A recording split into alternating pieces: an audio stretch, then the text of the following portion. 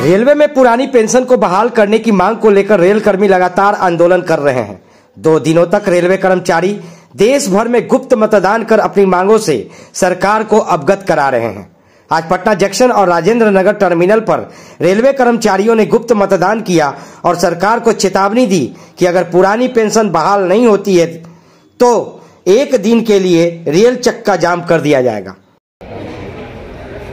All India railway men's federation के आह्वान पर 21-22 नवंबर को पूरे भारतवर्ष में भारतीय रेल के द्वारा पेंशन के समर्थन में भारतीय कर्मचारियों से समर्थन मांगा जा रहा है कि यदि भारत सरकार हमारी पेंशन की मांग को अगर पूरी नहीं करती है तो भारतीय रेल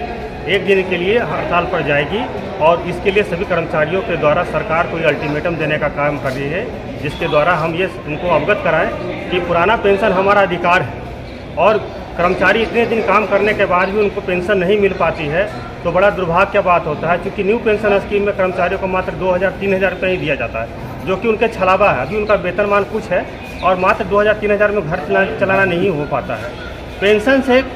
जो बुढ़ापे का एक बहुत बड़ा सहारा मिलता है और वो सहारा आज नहीं मिल पा रहा है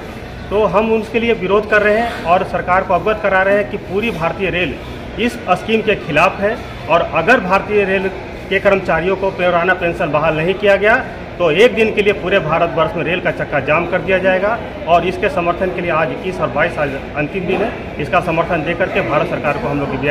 ज्ञापन सौंपेंगे और भारत सरकार पर यह दबाव बनाएँगे कि हमारी पुरानी पेंशन स्कीम को पुनः बहाल किया जाए। अदरवाइज़ अगर नहीं होगा तो निश्चित रूप से इस बार रेल का चक्का बिल्कुल जाम होगा।